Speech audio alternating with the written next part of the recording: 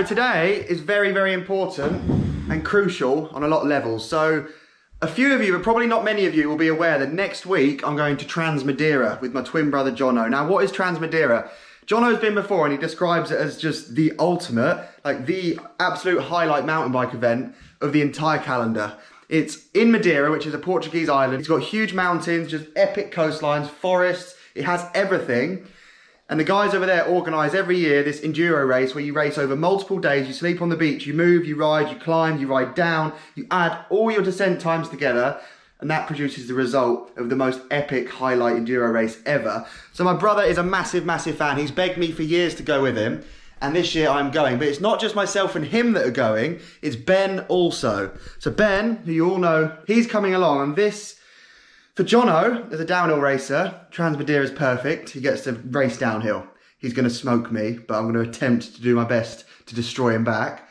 Ben, however, has ridden very, very few hours on enduro bikes. He, he's he's really good and really natural, but in terms of hours committed to the sport, Ben is a novice. He's going to drop in and add his time together, and it's like it's full on for Ben. So I'm working today on his bike. He doesn't know that his bike has been the same for a long time. It's the Marin Rift Zone 27.5 and I'm going to upgrade it. I'm going to put loads of parts on it to make it more suited to the terrain we're going to and I'm going to do the same to my bike. So I'm in my kitchen and firstly before we get started I'm just going to crack on and go through a few little bits which I'm actually going to take with me as well on a nutrition level. So bikes need altering. We need to enhance and upgrade our bikes to make them suited. But nutrition wise, again, you may be aware I work with Bulk here's a big range of their stuff. So they deliver me loads and loads of stuff to try out and test. And growing up, nutrition for me was not on my radar at all. I didn't really have the bandwidth to think about what I was putting in my body when I was digging, riding, just doing it for the love of it. Now I'm like not getting older, but now I'm more kind of career driven and kind of focused on getting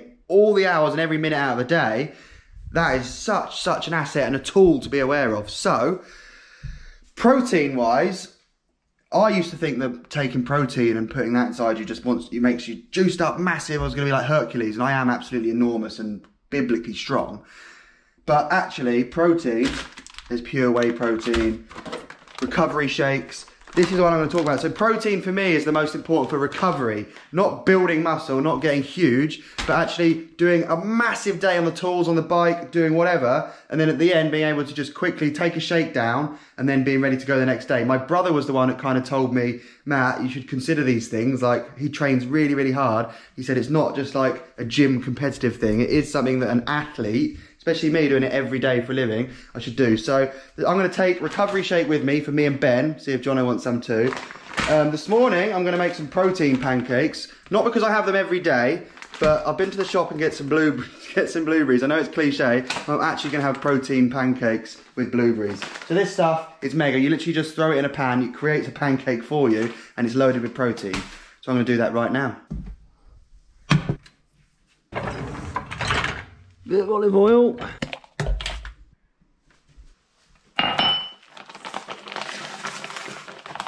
What's a dusty affair? Two scoops. I'll do two. And 100 ml of water. Leave that for a couple of minutes. Goes in the pan. It takes two minutes to cook. You're actually living the dream here.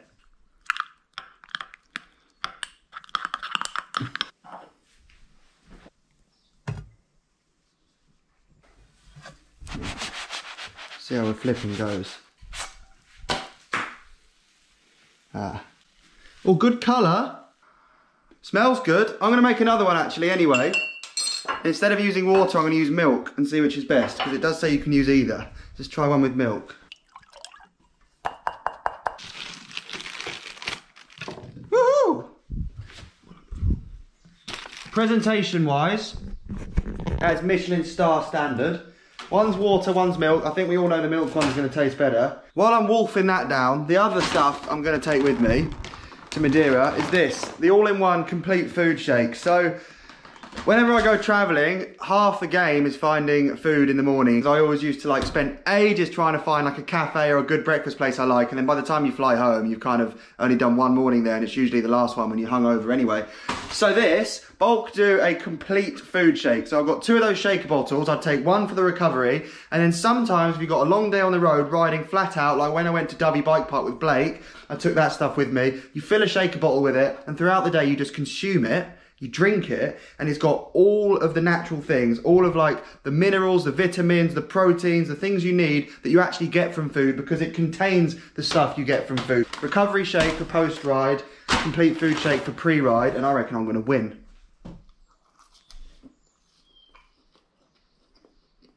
Hell yeah. Milk. Milk's way better. Mm. Use the milk.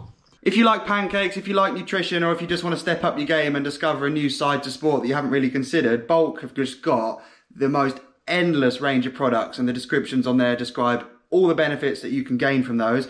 And if you use the discount code MATT, just my name, M-A-T-T, there's always savings available. Right now it's like 28% off on top of the payday sale that's already on. It's changing all the time, but I just went on there and it's a huge, huge saving right now. So use that and see what sort of uh, discount you get at checkout. So here's Ben's bike in the stand in my garage. Ben has ridden this bike 100% stock since it came out the box. He's the only one to ride this bike. He loves it, but Ben hasn't gone through that process of upgrading his bike before. And I know you guys who messaged me about kind of, I want to get some new bars, new stem, new pedals, what do you recommend? That's an exciting prospect, not knowing what's out there. You've got the whole range of products across the whole world and all the brands to choose from.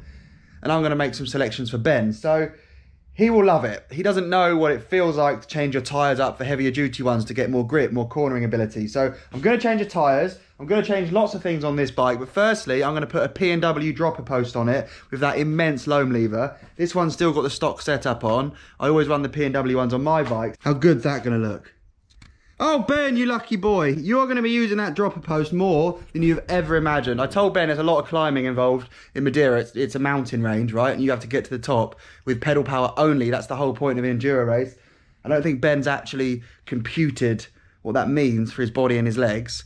But uh, this will help. getting to press your thumb on the kindest, most ergonomic, most fluffy, most pretty dropper post lever on the market. Should be thrilled. Right, so the dropper post is looking very good.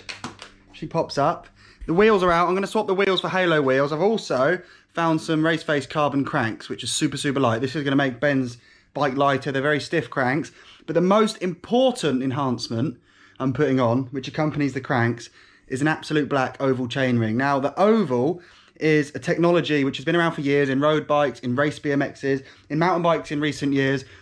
Ben obviously hasn't felt the requirement to run an oval. He probably doesn't even know that it might make it better for him in Madeira, but it is going to make and absolutely transform the event for him because an oval is so, so, so crucial for climbing. It irons out those really peak spikes of power. If you plotted on a graph what your legs are doing to the cranks and the back wheel, it would be spike, nothing, spike, nothing, spike, nothing. And that acts as effectively a cam so that what goes on at the back wheel, which is what drives you up the hill, this cam irons out those spikes and troughs and makes a very, very smooth power kind of application to the back wheel. Have I lost you? Have I still got you?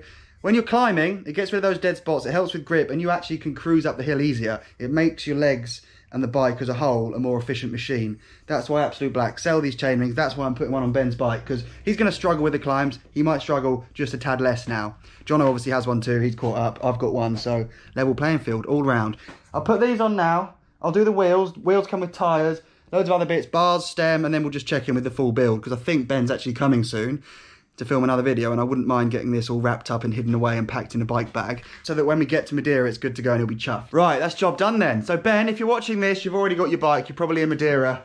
I've upgraded it for you. It's fully upgraded. I need to start on mine, just cleaning it up and packing it down. These are both going to go in bike bags, but here is Ben's very own enduro bike fit for Madeira. He's not fit for Madeira, but his bike, I'd say, definitely is. I've put on Halo Vortex wheels with a Supadrive hub, which just sounds incredible. Now, the big, big enhancement, which might seem on the surface like not the most crazy upgrade, but it's just so effective for this style of riding, is tyres. I put on the Continental Der Kaiser tyres, 27.5. They're 2.4 wide, and that has changed the look of the bike completely. It's a beefier tyre, and you can see here, they've got the sort of chamfer edge there, which is fast for rolling, but then that steep cut-off edge on the tyre here, when you're travelling in that direction, when you start braking, these hook up so, so, so well. Those tyres, honestly, as soon as I started running them on most of my bike, I just noticed such a difference braking late into turns, into corners and things like that. Carbon fibre cranks, the oval chainring. There she is. In black. There's the dropper lever. There's the new dropper post. Up she comes. Now, grips. These are the only Gusset S2 grips I found. They are not the colour that would naturally match this bike, but weirdly and almost secretively, I like them a lot. They go with a few tiny, tiny, tiny bits on this bike.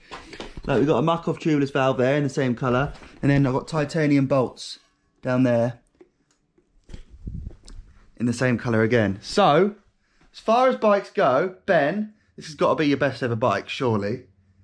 For me, I'm stoked with it. I'm stoked I could use up some parts. I've taken loads of parts off the bike. I'll do a giveaway for everything that's come off of it. Oh, and Gusset S2 bars and stem. Check this out. She's got a way beefier bar, a 35mm wide bar, 33mm long stem. Now 33mm isn't the longest stem ever. Ben isn't very tall. You typically run like a 40 to 50mm stem on an enduro bike, but I think for Ben, reducing that reach on a bike that's actually still got a decent standover height is going to be really important. The dropper has got 150mm of travel on the PNW dropper, so that's good. I know, again, he's not the tallest guy ever, but having a quite a decent range of drop size is going to help it get absolutely slammed for the downhills and bring the saddle up to the height where you actually need it for seriously, seriously, like kilometres of climbing every day. And there she is. I think the cassette could be bigger.